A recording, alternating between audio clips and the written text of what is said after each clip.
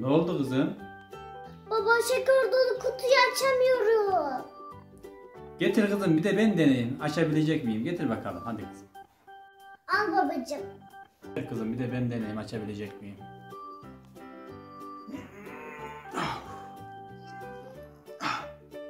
Açılmıyor kızım. Biraz daha dene babacığım. Kızım bir tane daha deneyelim. Bir çözüm buluruz elbet. Tamam mı? Tamam babacığım. Dur.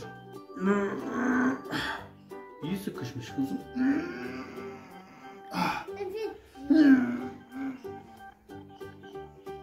Açılmıyor kızım. Baba aklıma fikir geldi. Ne geldi kızım? Babacığım akıl tavşan Momo'ya çağıralım. O açabilir. Evet kızım bence de o açabilir. Akıllı tavşan Momo'yu çağıralım. Haydi çağır Fatma sen. Akıllı tavşan Momo. Akıllı tavşan Momo. Galiba beni çağırıyorlar.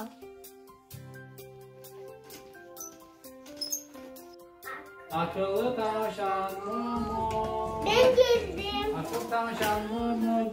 İyilerin dostu. Kötülerin düşmanı. Akıllı tavşan Momo. İşte bizim kahramanımız. Akıllı tavşan Momo geldi.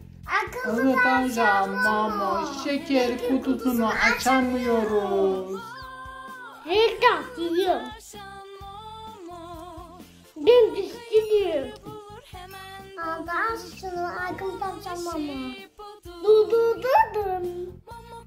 İşte kahramanımız açtı. Akıllı tavşan Momo çok teşekkür ederiz. Teşekkürler akıllı tavşan Momo.